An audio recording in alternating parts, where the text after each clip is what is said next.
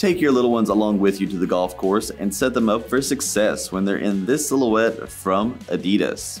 This is the Golf Code Chaos 22. It's a BOA system silhouette that's ready to keep it very stable and secure, showing off the little dial at the toe. It can be clicked in and twisted for a tight fit, then pulled out to help release it so they can slip it off pretty easily.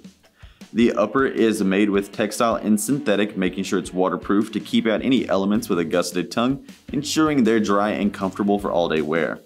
Inside there's lots of thick padding around the collar and the tongue for great support, and the foam footbed is made with the INSITE and Fitfoam cushioning to really keep it comfortable and responsive underfoot.